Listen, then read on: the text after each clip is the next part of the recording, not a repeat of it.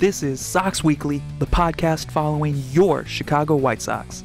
What's up, Southsiders? Get ready for a thrilling 2023. The White Sox are back where they thrive the best as underdogs. And many have already written the boys off at 35th and Shields, but we know what this team is capable of. I'll be here through the season to bring you insight on the team, let you know how the community is reacting, along with some feature stories about the team and its rich history. So sit back, relax, and strap it down. Sox Weekly Podcast coming your way.